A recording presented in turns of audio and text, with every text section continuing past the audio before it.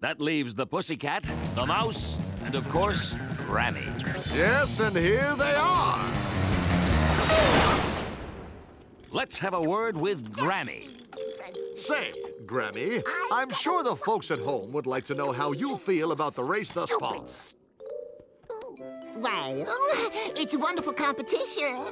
It's good for a person to participate in old-fashioned clean... Hold some fun!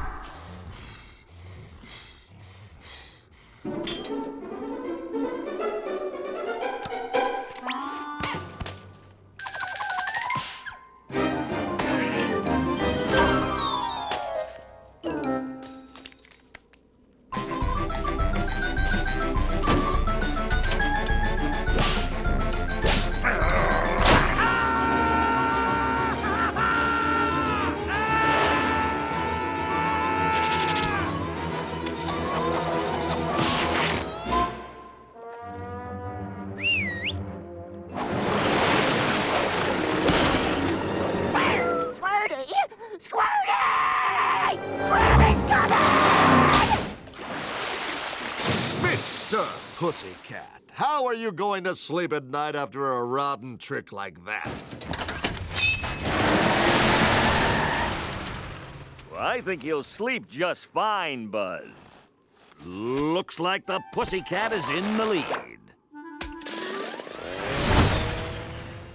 Well, it seems we are down to only two competitors now, Biffy. That's right, a cat and a mouse. The predator and the prey. The overdog and the underdog. The eater and the eaten. The big and the small. Okay, Biff, I think we get the idea.